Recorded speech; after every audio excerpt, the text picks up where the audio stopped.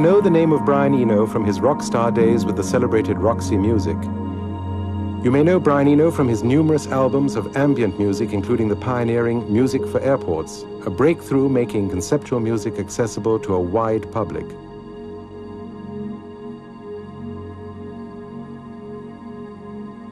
You may even know Brian Eno from his art videotapes such as Mistaken Memories of Medieval Manhattan and Thursday Afternoon. Or you may have seen Brian Eno receive a Grammy Award in 1988 as producer of the best-selling album The Joshua Tree by U2.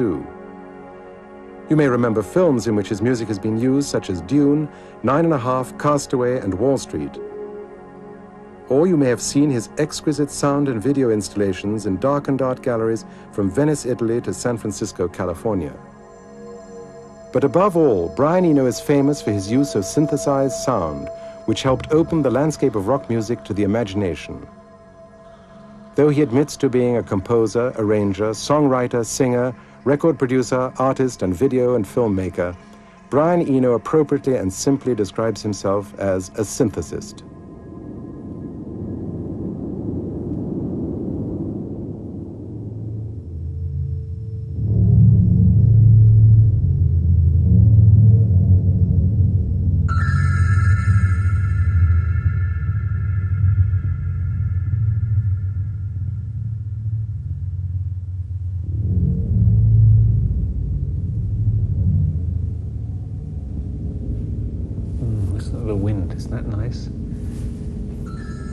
So often in this room that the wind or the birds or the rain just fit right into the music, and I, I have to get a mic up there and record them. Because I realized that part of the way I've been thinking about the music has involved whatever was going on outside the window.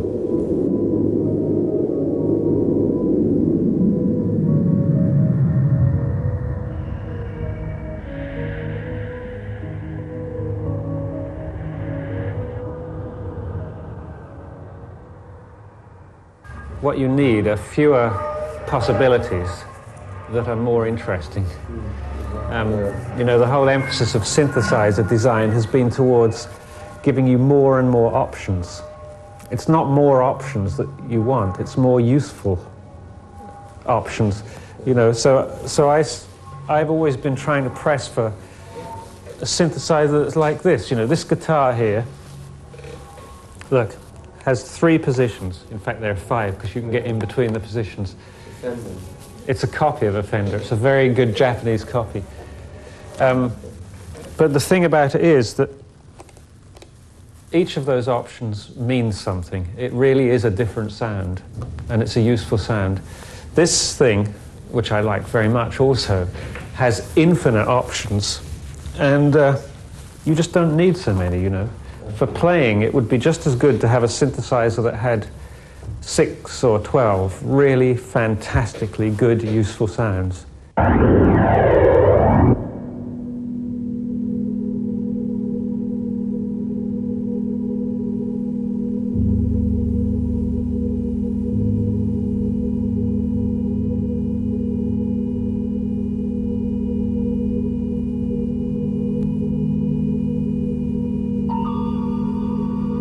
I thought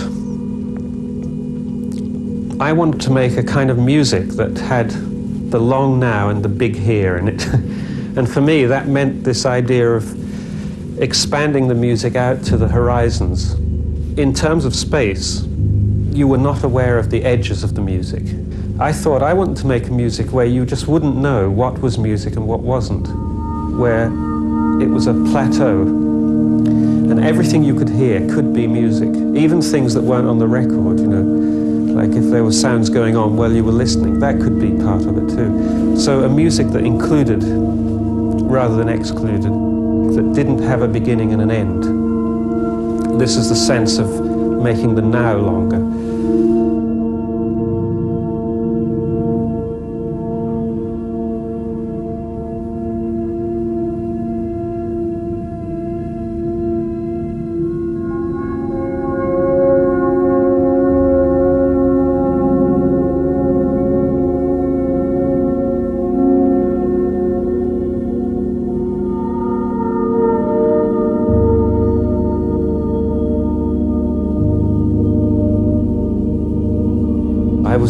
I want to take music away from being abstract collections of sounds and I want to make it like places that you've been to. I want to make it sound like a place that you've experienced before. And I used to call them, at that time, imaginary landscapes.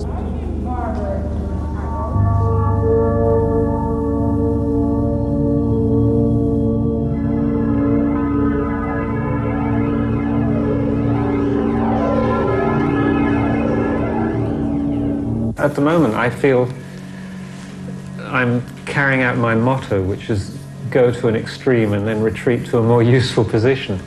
Because a lot of the emphasis of what's called artistic behavior is to go to an extreme, right? to find an extreme position and to defend it and occupy it.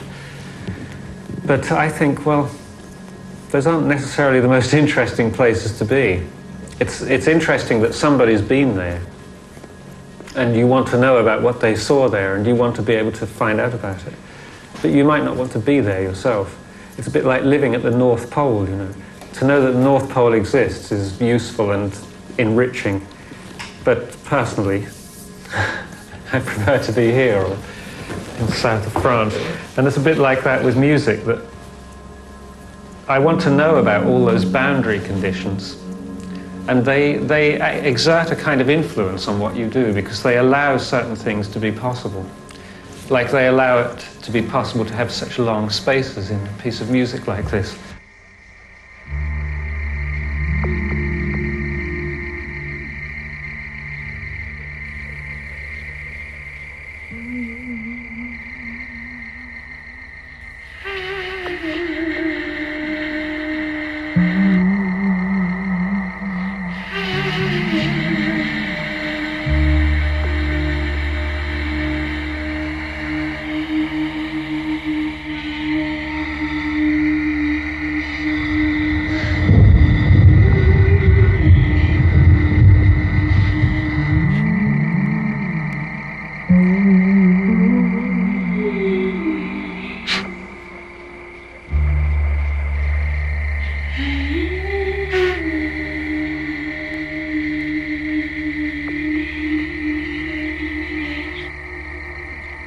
Joshua trees, you know, those are the oldest trees. That, in fact, they're the oldest living organisms on the planet. Some of them are several thousand years old.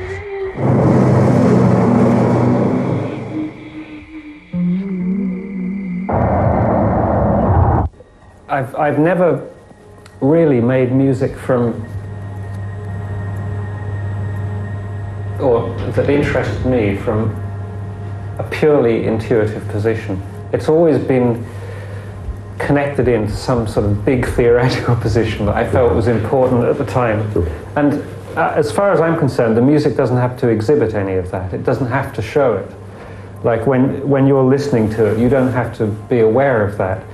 But the, the important thing about theoretical positions is that they lead you to decisions that you wouldn't have taken otherwise, or you wouldn't have permitted uh, good taste would have militated against them, you know.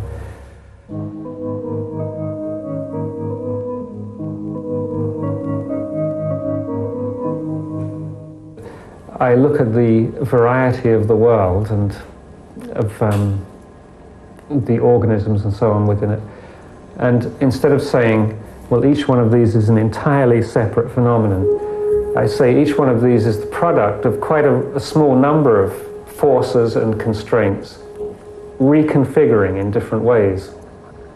So, so that basic thought about how the universe is made can run through into how I decide to work on music. I have to have something that I feel confident about at, at the deepest levels that I can think about.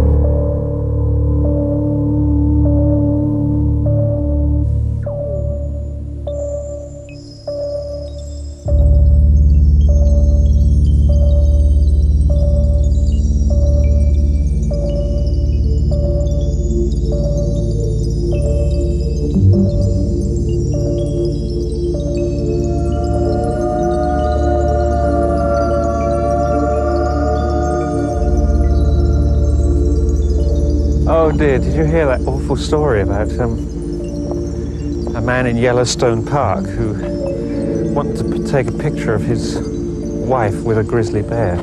And he encouraged the grizzly, tried to encourage the grizzly bear into the car because it killed his wife.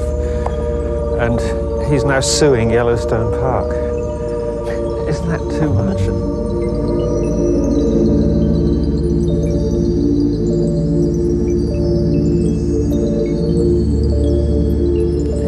Want to be on this edge between improvisation and collaboration.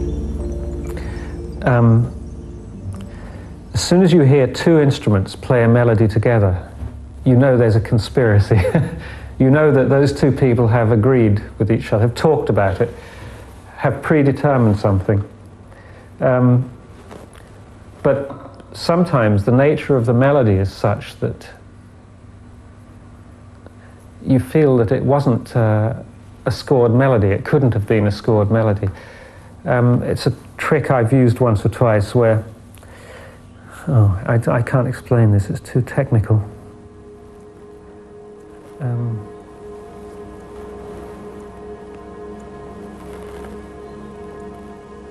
well, it would be a bit like if you saw a Jackson Pollock painting, and then next to it you saw another one identical that would be very shocking, wouldn't it, to see another identical version of it? Because you'd realize that whereas this first one was done like that, the second one would have had to be done with a one hair brush. so the, the, there's a dichotomy between the freedom of this thing, which is apparent in the look of it, and the meticulousness of the perfect copy of it. It would be very hard to make a perfect copy of a Jackson Pollock.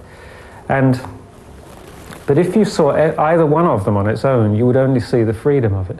It's seeing the two together that tells you that there's also a, um, a conspiracy. That's the only word I can use. And I like there to be a sense of conspiracy in, in the things I'm doing. Um, I don't know why, really, why that idea appeals to me so much. The, the shock of of seeing the perfect copy. And you know, to do to do that is easy.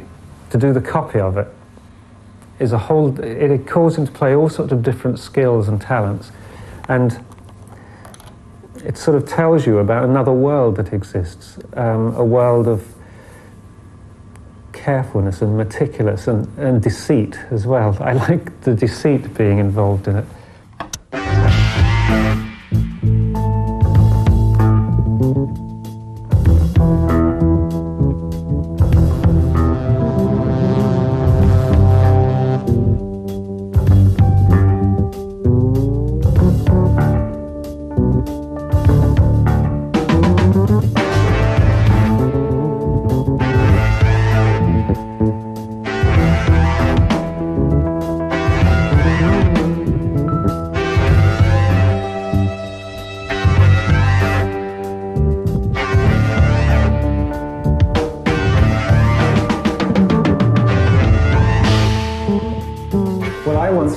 To make both the original and the simulant.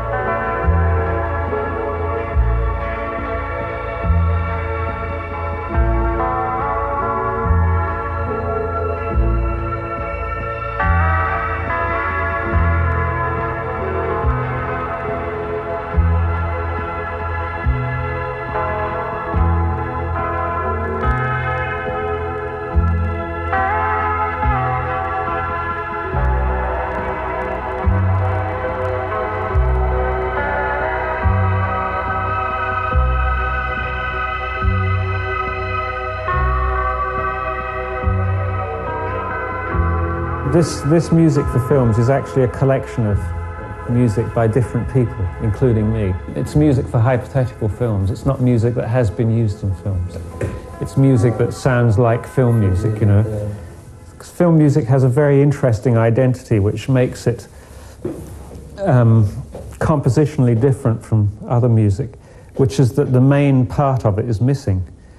You know, film music is there to support an action, but the action is missing when you just hear it on a record, and I think that's very interesting to make music that is just context without action.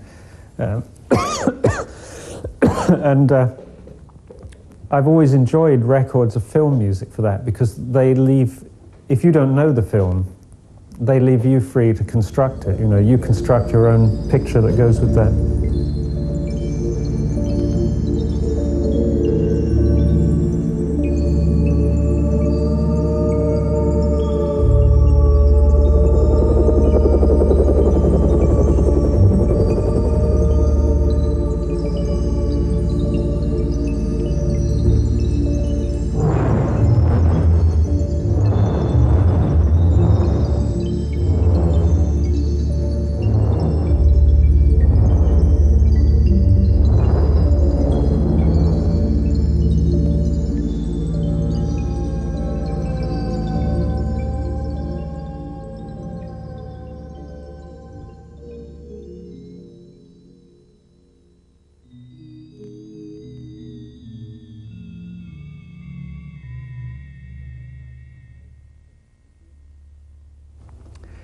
Send that sound to the big room, let's say.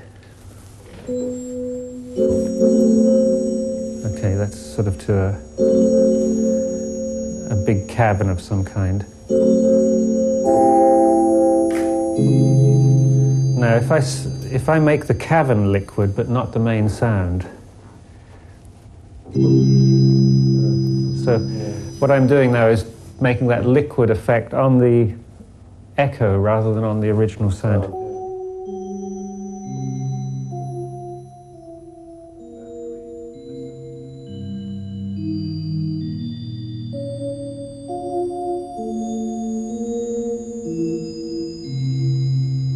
All right, now here's another variation. Suppose I want that sound to shine in a special way.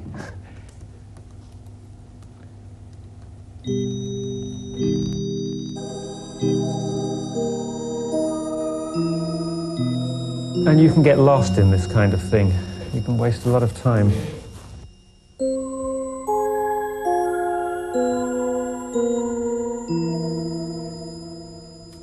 A voice in a piece of music always becomes the focal point. So I left me out.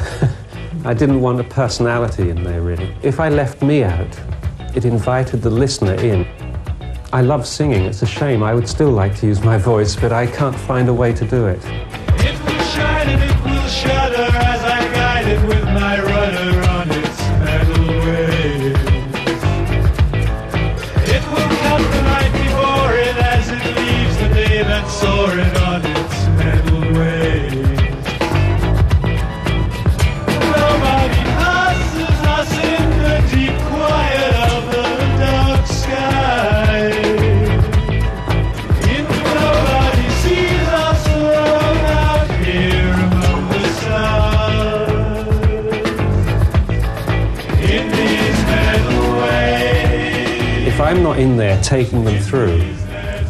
Then it's an empty space for them. They can move into it and they can go through in their own way. I mean, this is one of the problems that I think my life in the Bush of Ghosts sort of addressed this in a way by using voices that were whose personality you didn't know. They were just found voices. They were just sounds that happened to be drifting through the atmosphere at the time.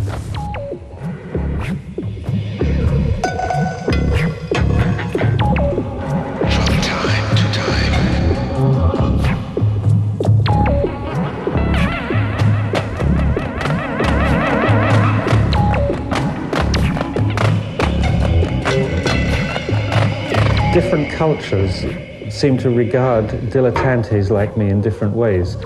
Um, the English hate it. They've, they've always hated people who did more than one thing, I think. And they've always hated people who rose above their station. Well, I definitely rose above my station because I didn't have, I didn't have credentials to do anything, actually. I, first, in the first place, I didn't have the credentials to be a musician. And when they finally accepted me for that, I then went and started being an artist, which was really going too far, I think.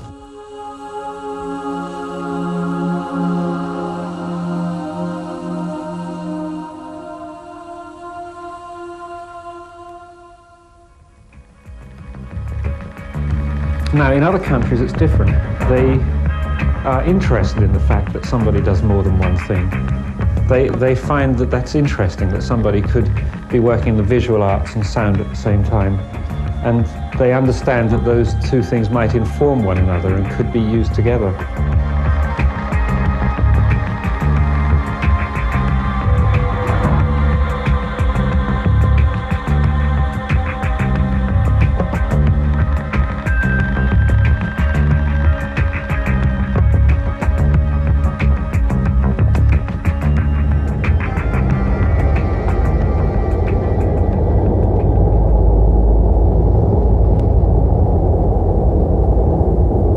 Sometimes when you arrive new in a place, you can really see it.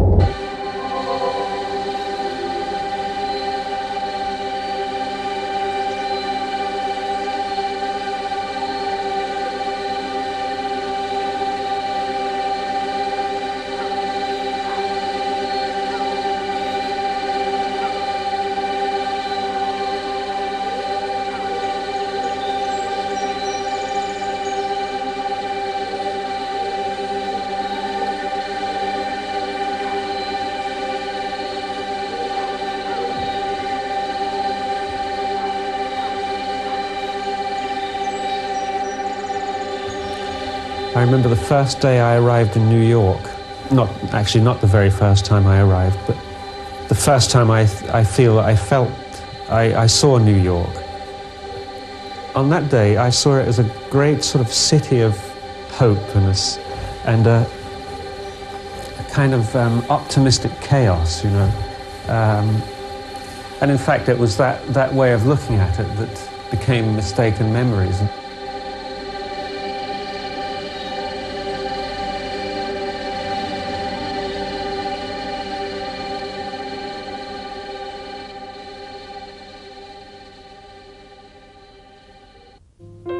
I had a place on the 13th floor.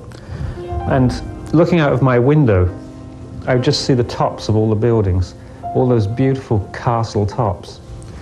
And I'm, I thought, I'm sure the people building this were also feeling that they were making a big impression in this brand new culture.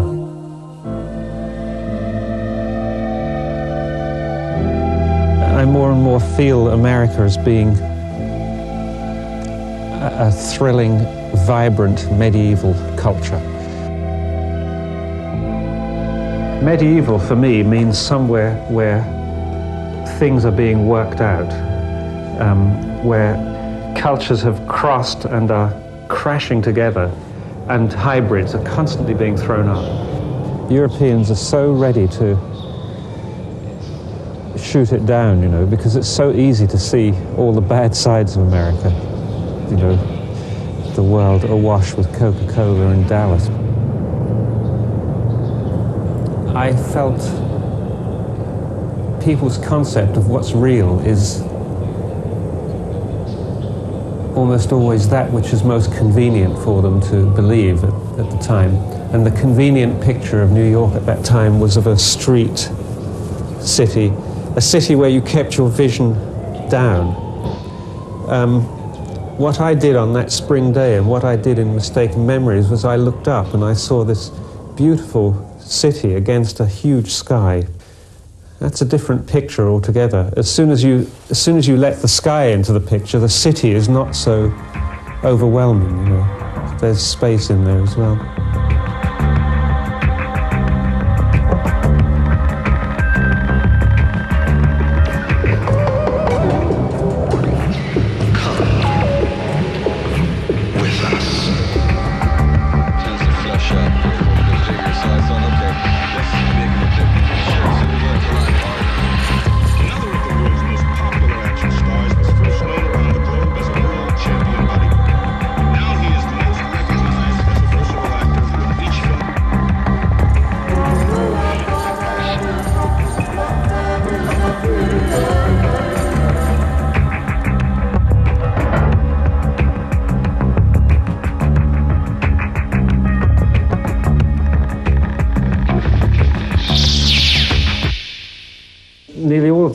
Musicians I like are also somewhere in the spaces between the categories.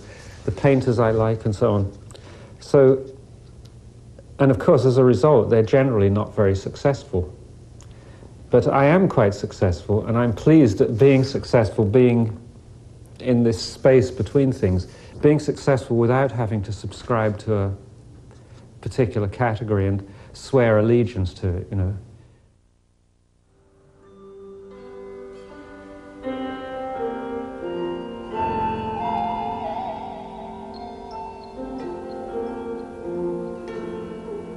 Look, there's a little fish down there.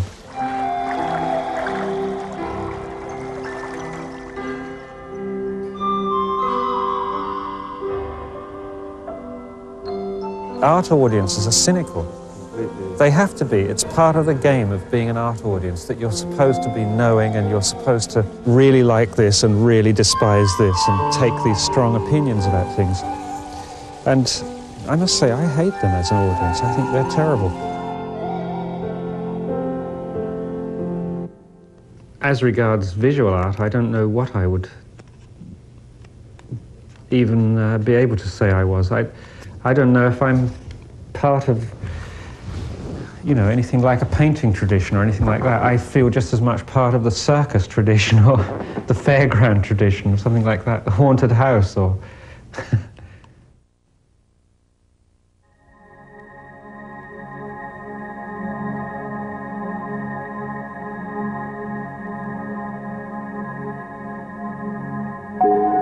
First started doing the video work, uh, it was pointless commercially or in any sense. It was something I just was interested in and decided to pursue.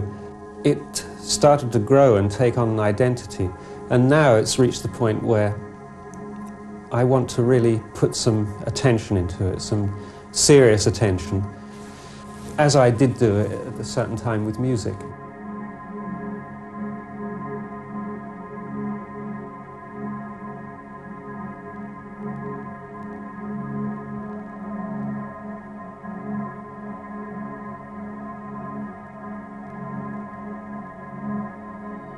First of all, I was always interested in light from a very long time ago.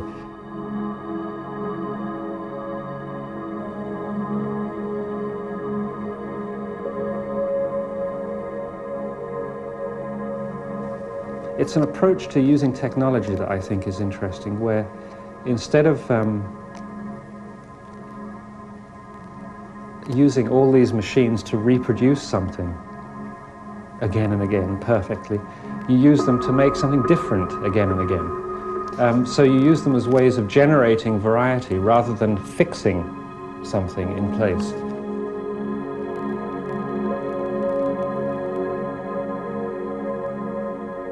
Those crystals in there are really the first things I ever did.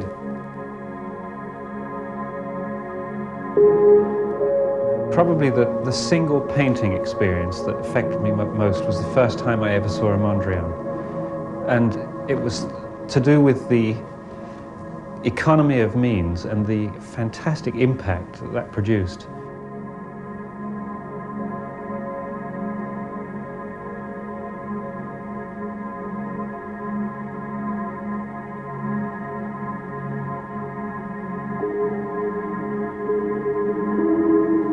I like systems that make use of the brain, the watcher's brain, as part of the process. The notion of, of art not being a quality in things, but the name of a type of interaction between you and something, or you and an event. If you start thinking of it as an interaction, it frees you from a lot of aesthetic problems. Um, you don't have to decide whether something is or isn't art. All you have to know is whether it does that for some people. And it might do it like a hit single will do it for two and a half million people for a month. Um, a, a cathedral might do it for several hundred million people for 700 years.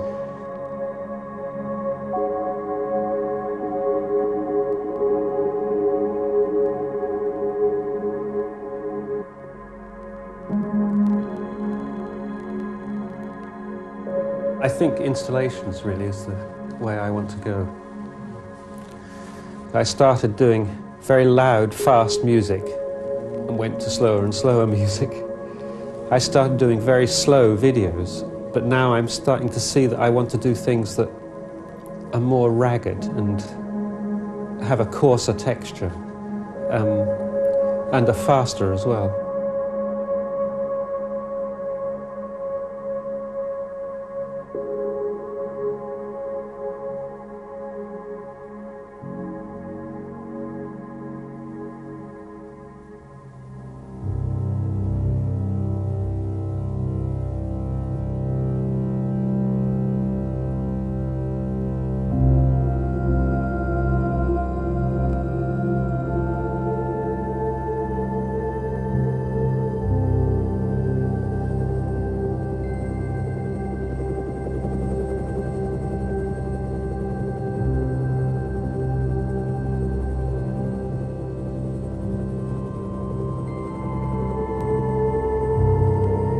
Coming back to Woodbridge was sort of the opposite of being in New York. That was part of the feeling. That most rootless city, you know, um, a city where you feel everybody is just staying until they can make enough money to go somewhere else.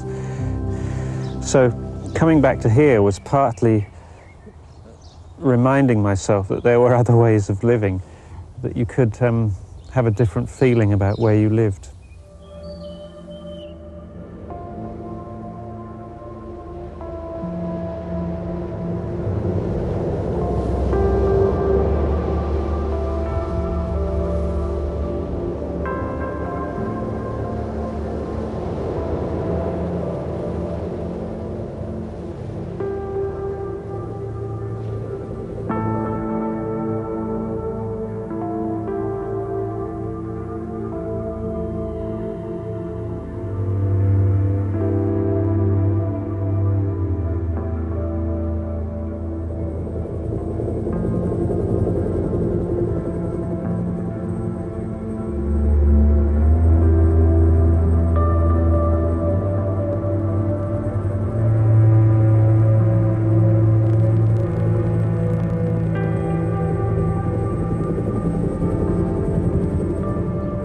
For me, the river was always a way of going somewhere. Um, I spent a lot of time, every, every child here, I think, in this town spends a lot of time around the river um, because of all the mysterious things that live down the river that don't live elsewhere. And because you can go swimming there and catching eels and, you know, all those things. Um, and water in general has a there's an idea about water that I like, which is that it's constant but not solid. Um, so the river is always going somewhere. I mean, a lot of the songs I wrote are about being on rivers or water in some way. I like all of the images to do with water, like being in a boat, this uh, protected shell that you make for yourself, um, which allows you to sit in this in this wonderful material, water. And it allows you to, uh, to flow with it or to move against it. I, I like any place that is penetrated by water. And Venice, of course, is the, is the great example of a city that is completely penetrated by water.